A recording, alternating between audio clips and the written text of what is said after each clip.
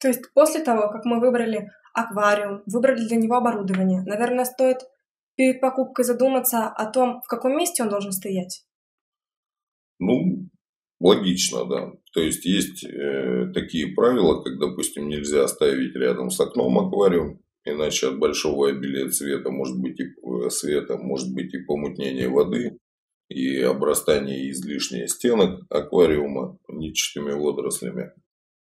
Поэтому, конечно, аквариум, ну и э, в качестве наблюдений, допустим, у школьников, желательно, чтобы этот аквариум стоял где-то на письменном столе. Так ребенок очень много времени, особенно в наше время, проводит за учебниками, за тетрадками. Соответственно, аквариум, находясь рядом, будет как бы стабилизировать и его нервную систему, и в то же время ему будет куда перевести глаза, и